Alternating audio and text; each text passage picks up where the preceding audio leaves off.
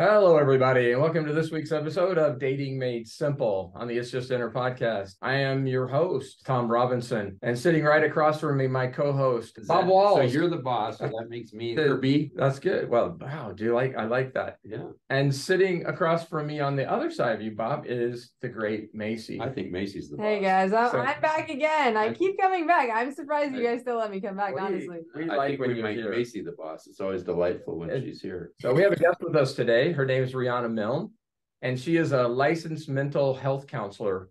Wow. Um, yeah, and she is a love, life, and relationship coach. I wow. So love you that. mean we actually have someone on the podcast who knows what they're Knows talking what the heck she's talking about. That's got credentials. She, uh, Welcome, Riana. You can't tell you how glad we are to have you here. For real. Thank you. Thank you so much. It's great to be here. you are a best-selling author too. Is that right? Yes, I'm a number one best-selling author for several books. I've written a total of 13, Wow. but the book on love is called Love Beyond Your Dreams. Break free of toxic relationships to have the love you deserve. Mm, that sounds And that incredible. is I don't know if I've Chock full of through this in my life. research, but an easy to read book. Yeah. Give you lots of answers. You have a podcast on the same topic. Is that right? Yes, that's called Lessons in Life and Love with Coach Riana Milne. Right now, I have 120 shows, uh, and on my YouTube channel, I have about 350 educational videos for free. Yeah, I've looked at I've looked at a lot of your videos, and they are absolutely amazing. Um, so Thank you. wa- we really want to get into some of the things that you're an expert in, some of the things that you talk about, some of the things that that you can help our audience with.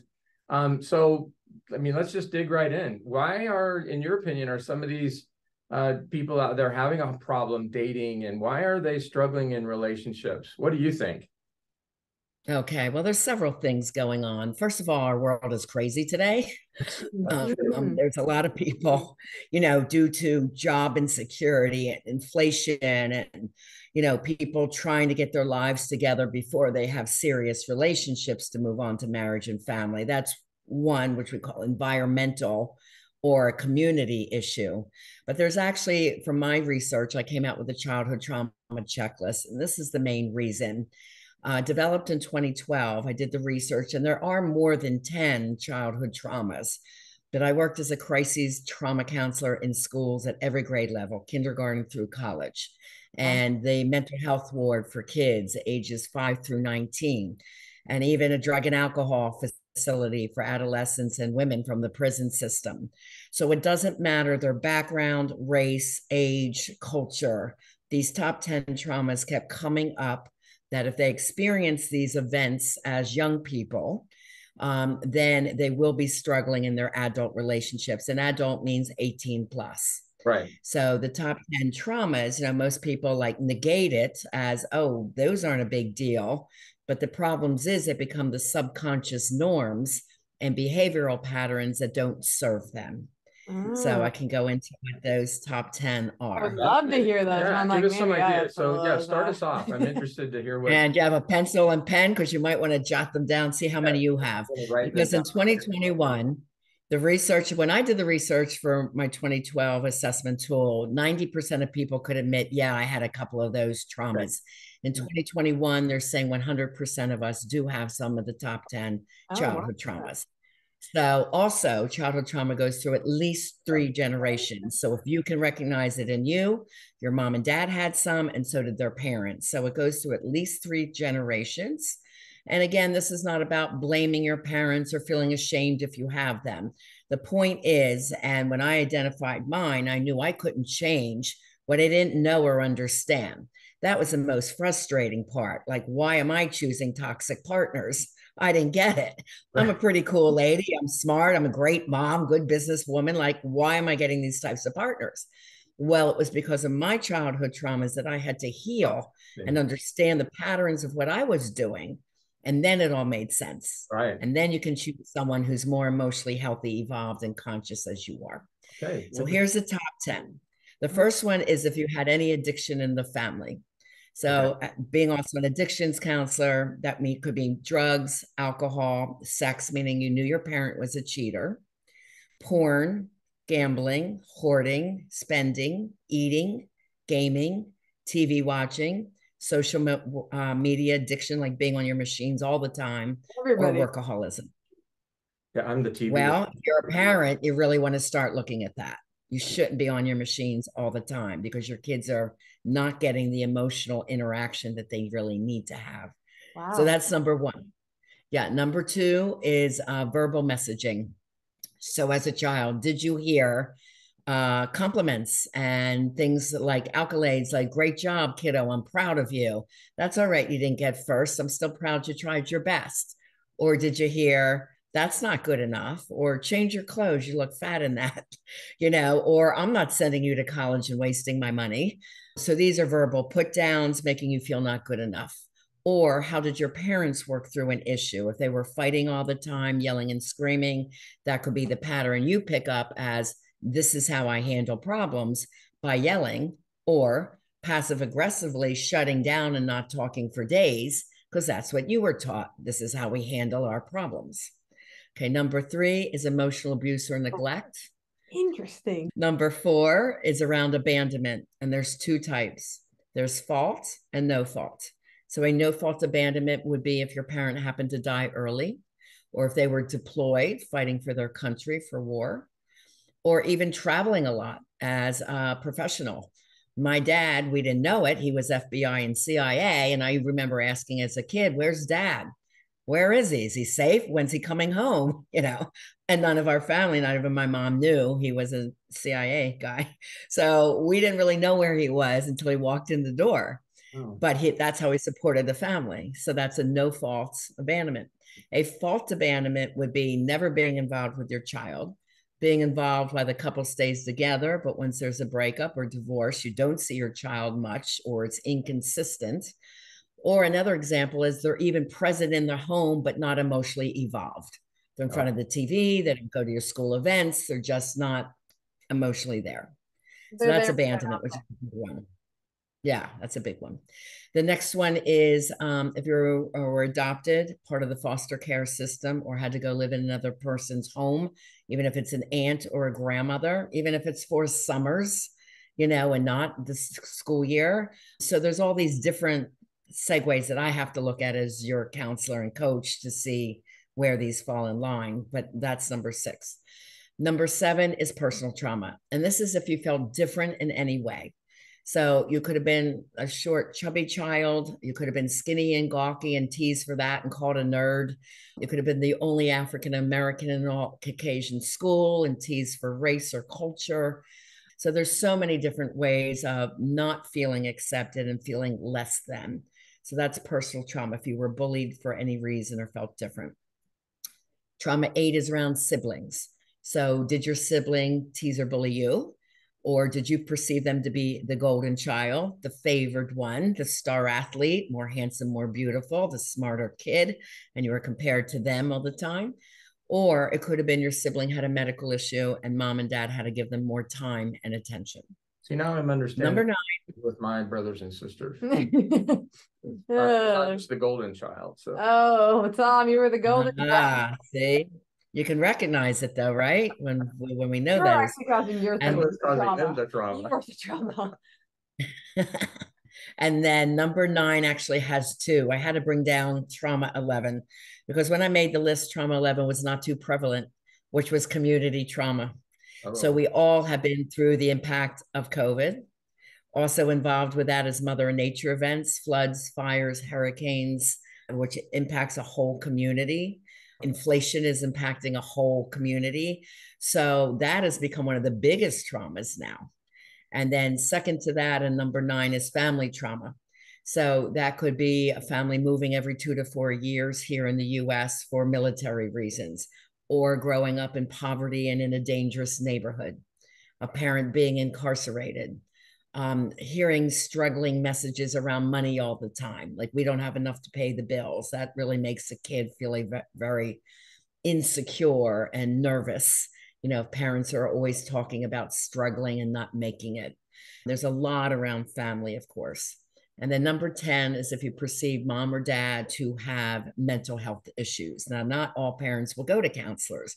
When I was growing up, I'm a baby boomer. So our parents never went to counseling, you know, so we just kind of have to guess. Um, the two hardest for kids to navigate around would be borderline personality, which means real erratic mood. When they're good, they're great, but when they're bad, they're horrible, and you never know what you're going to get as a kid. They explode at the littlest thing with anger, and it keeps the kids walking on eggshells. Right. Then the other one is bipolar, which is manic depressive. So a depressed parent can show up as anger, checking out emotionally, irritability, or you know, just extreme fatigue. And then the manic phase, some people say, well, that's the high and happy one, but it's usually tied to an addiction. So many a, a spending spree and they're really happy with what they bought, but a month later it's a hard depressive crash because they don't have the money to pay the bill. So that's just an example of that. So those are the top 10 traumas. Um, and there's something called big T traumas and little t traumas. So most of these emotional ones that are ongoing are little t traumas, but they have the equal impact of a big T trauma in the in the body, in the brain, in the body, and how the body processes trauma, as such as being raped or molested, which is a big T trauma, or having a car accident and losing a leg, something like that. But the trauma response in the brain and the body are the same. Oh, interesting. Wow, this that is like I feel like every bad thing that is in the entire world that you said the top. I feel like it's like everything. I'm like, okay, so everybody definitely has at least one of these because that's like everything. So your research showed that Okay. percent of people suffer from one of those. Yes. Most people can identify three to four, three to six, something like that. Um, people who are in the higher categories of nine or 10 are really struggling. This is more often where I see narcissistic personalities or sociopathic tendencies. So if our people, our listeners are dating someone and you know they're very abusive or selfish, then they usually have about nine to 10 traumas. Wow. Wow. So how do these show up when we're dating? Let's go Yeah, into that. gonna say, How does it affect that? So, because I hear a lot of young people, because I work with people age 16 plus uh, virtually. So, you know, when you have a very jealous or controlling boyfriend, for example, that would be someone that didn't feel good enough. They were put down or bullied. Uh, they also got verbal messages from mom and dad. They weren't good enough. They're not smart enough. Um, so that's where jealousy and control comes on. Even if you, as the girlfriend, is a perfect partner, reassuring them all the time, it doesn't matter. It's something within the psyche of that person, the subconscious. And that's what my job is to heal that and then help Right. them feel emotionally healthy. Um, people pleasing is one that I see a lot of my women do. Um, and again, when you grow up with this, this lasts lifelong. I have trauma cl- clients into their 70s. I'm healing this for. Wow. So the message is soon them, you know, heal them sooner than later. So uh, people pleasing comes from growing up with a very difficult parent or maybe an alcoholic. You know, you're tiptoeing around to make sure you're not upsetting them. This might be the young girl that has to get her siblings up, make the lunches, get them to the bus stop. So mom, who's hungover, doesn't get you know up and upset and yelling and screaming at all of them. So the people pleasing becomes a habit of if I please them to death, then they will love me. And then normally I hear, you know, from, and this is a true story, a, a wife coming to me and saying, I do everything for my husband and my kids, you know, and I never feel like they do anything for me. They don't say that they love me. And the, the guy says, Well, I didn't ask you to do all those things. So the more she kept trying to please him and please him, she goes, I lost who I am. I don't know who I am. I'm not happy. I'm numb. It's like they just lost all joy. So Right. that's people pleasing. Wow. If there are abandonment issues, this is where our codependency comes in and love addiction. And then there's something called RRS, relationship repetition syndrome. So that would be going back to the same person over and over again. And the Wow, research right. actually shows an average of seven times. So they their conscious mind says, I know this person's not good for me. So I'm breaking up. And then they'll they'll be strong for about a week. And then the other one tries to come back in and apologizes. It'll be different. You'll see, blah, blah, blah. So in about 10 to 14 days, they get back together. They go out and they find the same kind of man or the same kind of woman. Yes. When they say, "Oh, I'll Correct. never date another a person like that," or "I'll never marry a person like that again," they end up with the exact same type of person. Yes. That's right. That's because the original traumas are not healed. And people are falling in love by chemistry. It is the worst way to pick a partner. And we Oh, learn this growing up. interesting. Yeah, we Yeah, learn this in movies and our romance novels like Sleeping Beauty, our little stories as kids.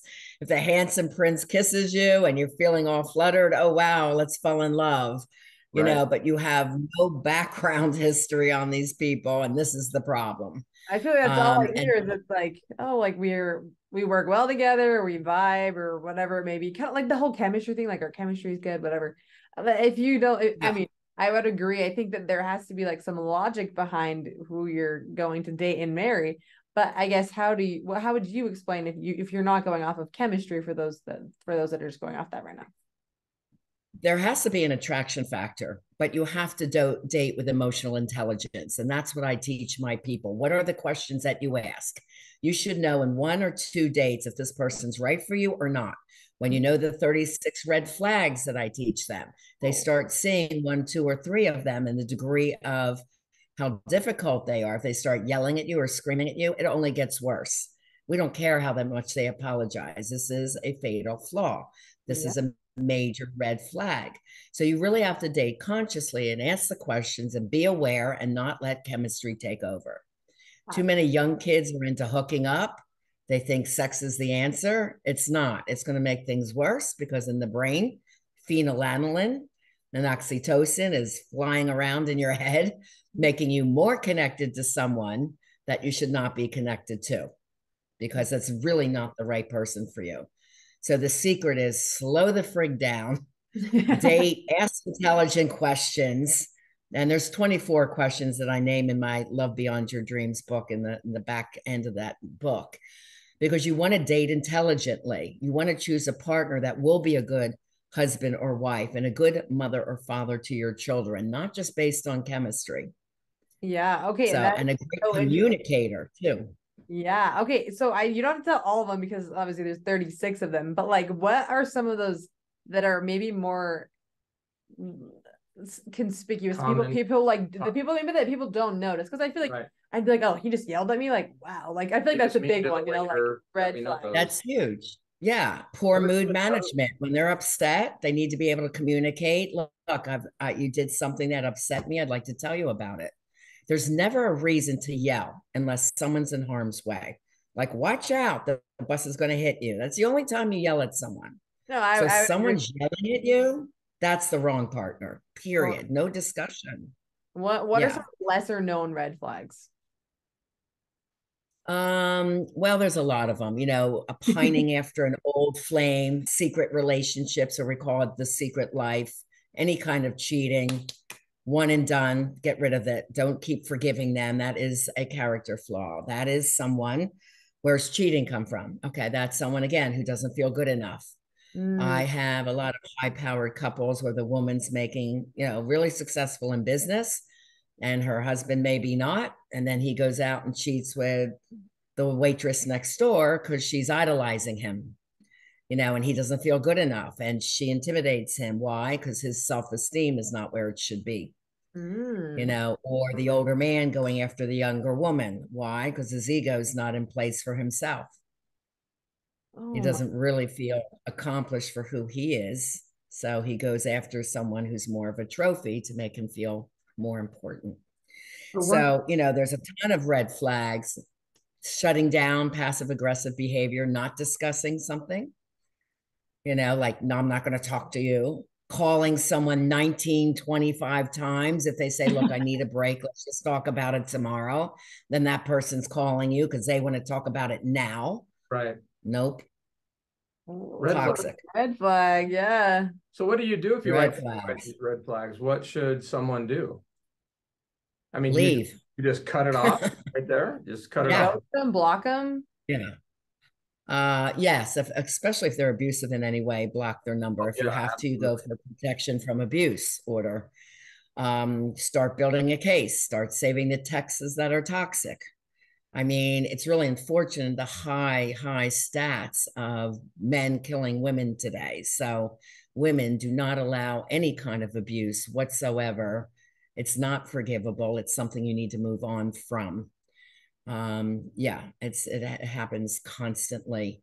So you really have to put yourself first. Self love is really important to have, self confidence.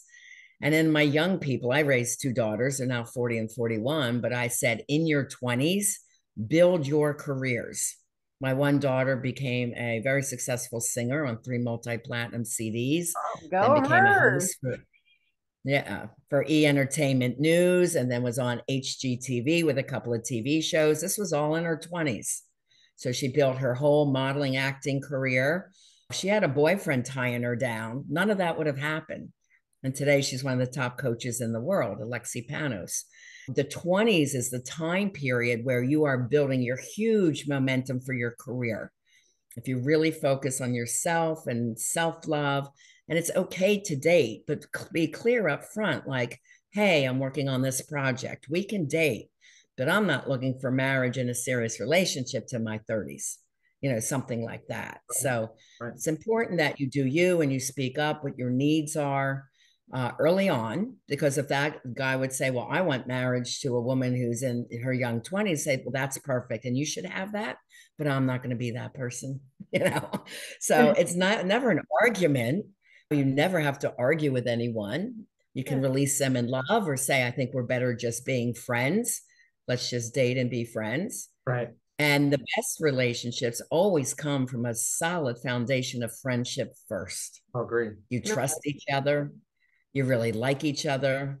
You have fun with each other. You're your total self, authentically you. You're not putting on any fake airs and really knowing that person over time. That's the best solution to an evolved relationship. Those are great. Now, as a coach, when someone identifies their childhood traumas, which everyone has, how do you help them to move past that? What What do you do to counsel them so that they can uh, w- deal with that trauma that they've experienced? Well, I'm a certified clinical trauma professional. The initials are CCTP uh, Advanced dash. Uh, so I have tons of tools in my toolbox. The thing is, once I do the initial assessment, which is called a life and love discovery session, I know what their traumas are. I know the severity levels, and then I know how they're showing up in their dating or love relationships. So I assess the past, what's going on presently, and then we bridge it together. So all my coaching is very individualized, and I call it coaching and not counseling for a specific reason. One, coaching is very educational. So I am acting in the role of a teacher. Right. And two, we work as a team. So there has there's a notebook of 150 pages of exercises. So what they tell me, really easy, checking off yes, no, one to four, you know, just real easy. But every sheet from what they tell me tells me what I have to teach them back. So we mm-hmm. work as a team.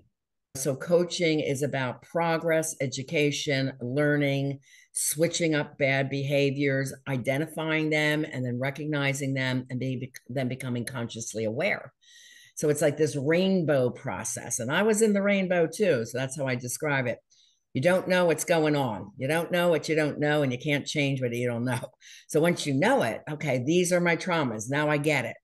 Now we start working with the education, and that's a learning curve. And then there's practice. And once you start practicing it, within four to six months, you you feel totally different. My people get better job offers, um, or they switch jobs and get double the pay. Uh, they're having more friendships. They have more confidence, self esteem. They feel amazing about themselves, about life. So that whole veil of that past is just gone and then they create the life they really desire and then at that point then they have the love they deserve because they're not going to go out with someone who doesn't have their life together when they do Mm. and that's my job as a life coach to make sure they have all these different areas of their life together So, so is your experience that people can change? can they change oh absolutely or i wouldn't be doing this yeah i have hundreds and hundreds fair. of testimonials yeah i mean i've been doing mindset for success work since my 20s Wow. Uh, when I was in my mid 20s, I had a model and talent agency in a school in uh, New York and Pennsylvania. I had it for 10 years. And I had people from the little town of Erie, PA saying, I want to be a model. I want to be an actor. You know, one girl, I want to be a dancer. Well, where do you want to be? I want to be in the Rockettes. I said, let's get you in the Rockettes. One guy says it was an auto mechanic. I want to be on Baywatch. Let's get you on Baywatch. And we did. I did. So back then I was called the dream maker. But the first thing I had to do was get rid of the negative messages. I had one girl, Jennifer, come to me. She was like 21, size 22 girl, so plus size model. And her family, you know, the family are the meanest sometimes. It's like, look in the mirror, you're fat. You know, you're spending money on modeling. That's a joke. You're just throwing your money away. I said, Jen, can you get down to a size 16 with my help? She goes, I'll do anything to prove my family wrong.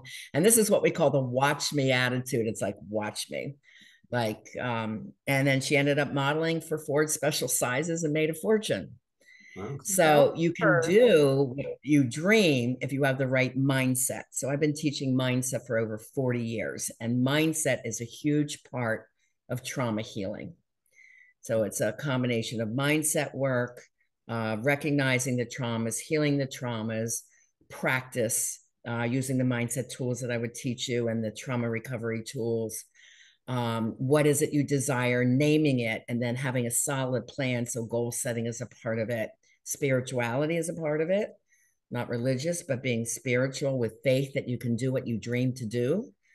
Um, so, it's really amazing the transformations people do over and over. And it doesn't matter their ages. Like I said, my oldest man now is 79. Um, and I have a really sweet podcast I recently did with a client, Bob, who came to me at 72 and he tells the story on the podcast and allows me to tell it but he was coming and trying to save his fourth marriage and asked me if i would meet with his wife she's there i'm done i'm fed up da, da, da, da. so he's a prior alcoholic and then he went to ga was a gambler so he's totally clean and i said the problem is we have not you know you have never healed the childhood wounds and he had a lot of childhood abuse mm-hmm. and he never healed those so his addictions were self medicating that made him feel better for a period of time. But he never got rid of those original traumas. That was my job. Right. So then we did that. Then I had to teach him how to help date someone who was emotionally healthy. And he's been in a loving relationship now, seven years. He was crying on the podcast about how I changed his life and how happy he is. You know, so he's 79 now. I met him at 72 and he's been with the same lovely lady. And um, you know, so a change can happen at any age. I just say don't wait until your 70s to find happiness. So we have a lot of our listeners are not dating, and some of them are really afraid of dating. And so, what would you tell them? What advice could you give them right now on the podcast that maybe would help ease some of that? Maybe be able to look internally. Yeah. Try to get some help. What would you what kind of advice could you give them? First thing is be who you want to attract. Work on you. Raise your self confidence, your self esteem. Feel healthy. Eat healthy. Don't party, you know, to the point of passing out. Be who you want to attract. If you want a successful partner, you be successful, right? That's the most important thing. You know, feel amazing about yourself first. And if you suffered from childhood trauma, a lot of times you will have low self esteem and confidence. That's okay. We can create what your dream is. When Alexi told me, Mom, I want to be a singer, her father says, That's an effing joke. I hmm. said, Prove them wrong, babe. And there she is singing on three multi platinum CDs. Why? Because the world aligned that I happened to meet that artist in a nightclub in South Beach. And then within the two months, she was uh, interviewed by the two of the top record producers she just met by happenstance. So that's part of the spiritual belief system. You claim what you want, you believe in it, you start the the world going in that direction and things start aligning. But you know, you have to believe in your dreams. Um, and you know, she was a great example of a young person. She wanted to change the world. She wanted to help the little children in Africa at age five. Know, the Save the Children commercial. She goes, Mom, I want to go save those kids. And I'm like, that's a beautiful dream, hon. Let's go do that. You can always do that. You decide when. Well, as a singer, she goes on world tour, ends up in Africa, looks down from the tour bus and said, These kids need my help. How do I do it? You know, and then now she has 31 working water wells in Africa, and she started that at age 20. So, for all our young listeners out there, your 20s is the most profound time period to make a difference in the world, you know, to start a cause, be a part of a cause, And when you do that, your own self esteem and confidence goes up. So when you're dating, the number one thing to remember is you're just meeting a new friend. That's it. Take all the pressure off. Like, is this going to work? No, take the pressure off. Just say, I'm dating just to meet new friends. Have them be your guy friend or your your your lady friend first. Don't make it like, oh, I got to make this work. I got to be married. So all that pressure is not what you want. And you don't want to choose the wrong partner. So if you're really in dating mode, let's say you're older in life, late 20s, and you say, you know, now is the time that I would like to have a partner for marriage. Now we do what's called dating with intention. So you should have three to four dating dates a week. You need to have an excellent online profile. I rewrite all my people's online profiles. We do an examination of where you can meet people in your community. I ask everyone, where do they live? I do Google searches. I said, okay, you can do this, you can do that, you can do this. So it's a combination of meeting through friends and family, being out there in society and meeting people, and being online. And when you're dating with intention three to four times a week, but you're just starting out, hey, how are you? You know, looking to meet you as a new friend. This is who I am. You have your life together. You you have no huge debt. You're not looking for someone to save you. You mm-hmm. have got your life together. That's the number one thing you have to be first. Then go out and date. And that's what I said to my daughters. Find someone who's going to be an excellent financial partner. You girls have your life set.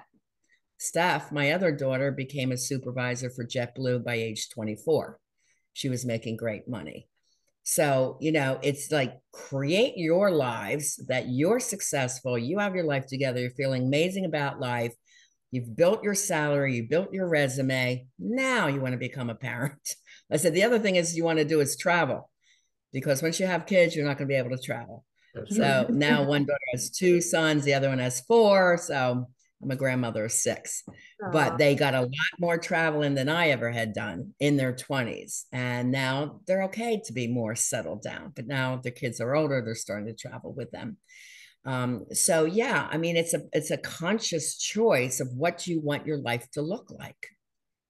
And You're if you right. want to, yeah. you know, I feel like I need to go out there and do something crazy. Like I, I, I, I was love the point on our podcast where, where the guest comes in and they start to uh, uh, reemphasize the exact same thing of the purpose of our podcast because someone with experience is actually saying this.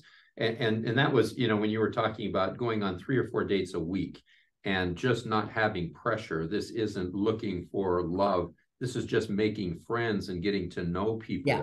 and finding out about yourself before you try to move into a relationship which uh, without any basis for for making a decision and, and that's what we really push right. on this podcast right. is what we want people to do. That's what we call it. It's just dinner. It, it, it's not an yeah. invitation to a romance. It's an invitation to get to know someone. Exactly. it sounds like that's, exactly. what, that's what you found to be uh, uh, with with your uh, coaching. Yes, and and then let me tell you what the research shows as far as what makes the most emotionally healthy, evolved, and conscious relationships that sustain over time. So we call it the five F's, or the foundations. One is a solid foundation of friendship. Be friends first. Don't be so quick to be sexual. You have to trust them. You have to really like them as your buddy, your friend. You're confident in who they are. They're not going to hurt themselves or others or you. And that takes time to see that. Everyone's perfect in the first 90 days. We call that the 90 day rule. Take your time. The other one is flexibility. Are they open minded? Do they allow you to have your opinion and they can have yours? Are they easygoing? Great mood management, emotionally open, able to communicate about anything. The third one is fidelity. Are they honest? Do they have integrity? Meaning you trust them to do what's right when nobody's looking. You just have no concern what they're doing when they're away from you. You don't need an itemized, I'm doing this, I'm doing that. No, that's tracking. You don't want someone that knows your every move. That's like codependency. Uh, loyalty. If you're exclusive, you trust that you're loyal and you are to each other. Um, fun. You have common interests, but they're allowed to have their own hobby and interests separate from yours. But you have to have enough together that you're having a lot of fun Um, then there's compromise. You're able to negotiate your differences and talk through issues without any yelling, screaming, or shut down. Balanced individuals. You're both balanced. You both have a great, successful life on your own. You're happy in the direction you're going. So if you're a college student, you're getting all A's and some B's. You know, you're working at school for your resume or you're in an internship, you know, so you're focused on what I do now is creating my future. If you have two people like that, that's what you want. You both have definite goals in mind. You're able to forgive and you're also able to accept responsibility when you make a mistake. Um, and one of the last ones that is most, uh, they said, keeps people together over time is that you share spiritual concepts. Mm-hmm. And again, that does not mean religion. You have to go to church one hour a week because when you're spiritual, that's who you are 24 7. It's how you conduct your life. And that has to do a lot with honesty and integrity as well, and doing the right things because that makes you feel good and feel confident about yourself and about your life. So you are looking for that type of person and you want to be that type of person. Those so are- working on your spouse in your 20s is the number one secret to having a good partner. Those are those are so so so great. Mm-hmm. The five F's. And can you can you repeat those one more time? It was yeah, solid foundation, foundation, uh, flexibility, okay. fidelity, friendship or best friends, and fun. Okay. And then okay. the other ones are yeah. compromise, balanced individual, spirituality, and intimacy means ongoing affection uh, in a loving and kind way, no manipulation, no feeling obligated to, no being pushed, that kind of thing. And that's all from one page in Love Beyond Your Dreams. So it's a 400 page book.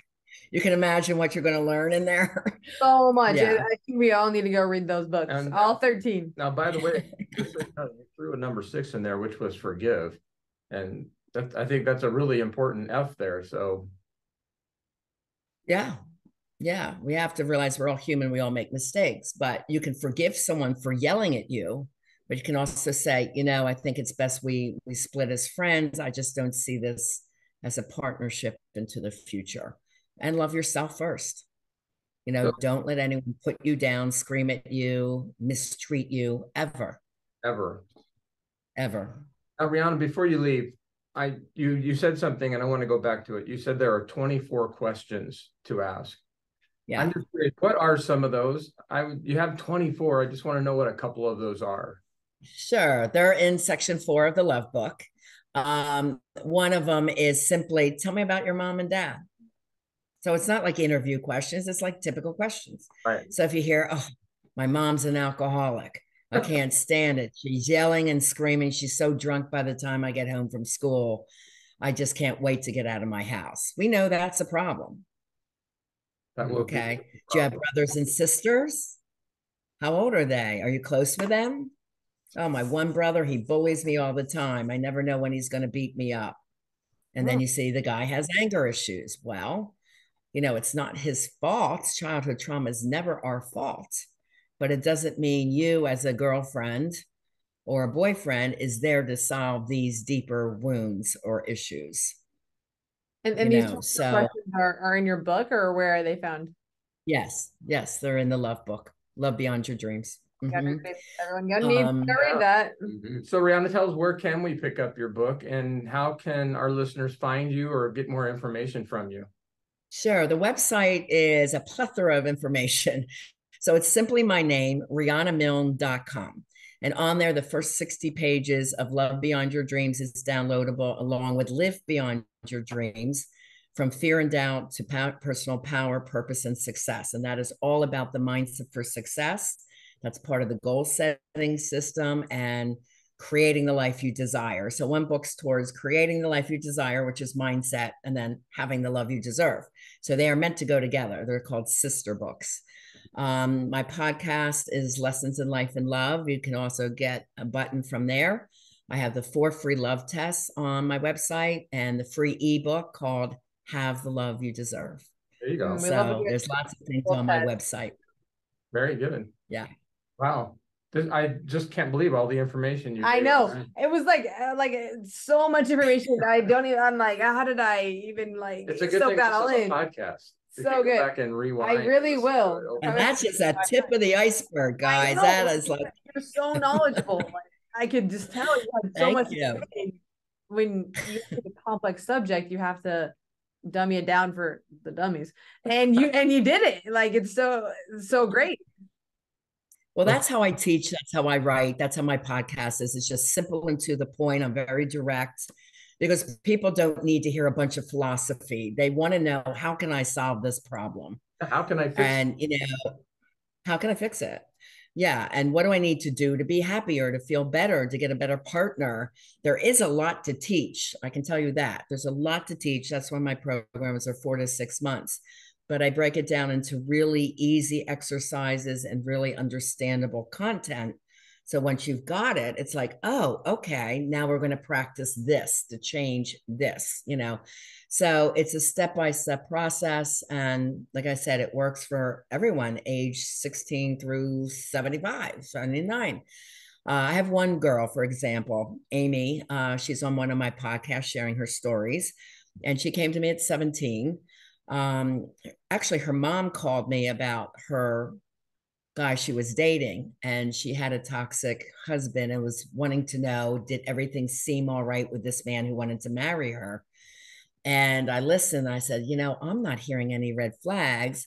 I said, you have one child. Does she like him? She goes, no. I'm like, okay, what's going on here? you know, because kids are very bright. You know, they want mom and dad to be happy. And if they don't like the partner, they're seeing something. Well, there was something deeper. And I don't know what made me ask the question. I said, was Amy adopted? And what was her biological family like? And yes, that was the case. Um, so she had abandonment issues. Um, and the father had an affair, the adoptive father. And then he ended up leaving and being with the girlfriend who became the new wife. Um, but the story was then this man came in, the only one she could count on was her mom. So when mom's affection went to the new partner, she felt ousted. So I said, I need to work with your daughter because you two are fighting all the time and she doesn't realize her abandonment is causing insecurity that she feels the only thing she can count on is going to leave her. Mm. So the mom said, Wow, I never even thought that could have been it. I said, Yes, I believe that's it. So she wasn't doing well in school and she was a smart girl. She's a great girl. So within six months of working with her, and her mom was great. Linda's there, do whatever you need to do, Riana. I totally trust you. So I got her grades from C's up to A's and B's. We found out what she wanted to do, which is interior design. We got her into a better college. Um, and during that, she ended, I said, I don't want you being a hostess at this fast food joint anymore. She was dating the 30 year old dishwasher. I said Oh. to her mom, I'm going to have her quit her job. She said, That's okay. So we got her a job in a home design store. I told her how to interview. She went in, she nailed it. She got sales within a few months. She's a manager. Oh. And that goes on her resume for college. And then she was working at the top design store where the college was. So you could just see these huge steps of success once we healed the initial trauma. Yeah, that's So what the a story's fun amazing. story. That's incredible. Yeah, and, and she's still doing great. And uh, yeah, she ended up by happenstance meeting a couple that did a home design show on HGTV. They came into her design store. She goes, "Can I help on the set?" You know, and she said, "I never would have asked that before." And now she has that credit yeah. working on a TV show as a designer. Oh, that's so awesome. Yeah. It's so cool. It's so cool. So, you know, that's just one story of one of my young people. At 17, by 18, she was flying, you know, just flying with success. So, if you're a young person listening to this and you're still in mom and dad's home and you feel you need a little direction, you need help, I I work online. I work with everyone around the world. So, you know, just reach out through RianaMilne.com and get yourself a discovery session. If you need your mom or dad to talk to me, that's okay too. Like, you know, the parents and I are very supportive and and they really let me do what I need to do to make you happy. And that's the goal. Happy, successful, feeling amazing about yourself and about life. That's what life coaching's about. Okay, well, there you have it. Brianna, That's thank you. amazing. It's Yeah. been fascinating. Thank you so much. Thank you so much. This has been great. So great. Um, and so you guys Welcome. can reach out to Riana. She's a world of, of uh, information, expertise, knowledge. Uh, so please go and, and talk to her if you need to and be able to get an opportunity to get out of the apartment, to go out and date and be able to just sit down and make a friend. And I love what she said. I'm going to just kind of finish with this. She says, when dating, you're just making a new friend. And I can't Mhm. tell you how many times that's what this podcast is all Right. about Mhm. is just go out and make a new friend. Well, Bob, Macy, thank you. Yes. Oh, thank Oh, you. And you guys out there listening, you can always go out and check us on Instagram. We're at Dating Made Simple on Instagram. We're also out on TikTok as well. You can email us, and we'd love to get some of those bad date stories in. Macy, you've got plenty of those. You should give us some of those. Oh, actually, a fun story. I'm uh, I, my worst date was last year at Corn Bellies, and tonight I'm going to Corn Bellies again. So hopefully Hope this it's day will be better. Little- little Hopefully. PTSD going. A little bit, a little bit. So email us those stories at it's just dinner podcast at gmail.com. Thank you guys. Thank you, Riana. We really appreciate it. Welcome. Listen, you guys, just go have fun out there, would you?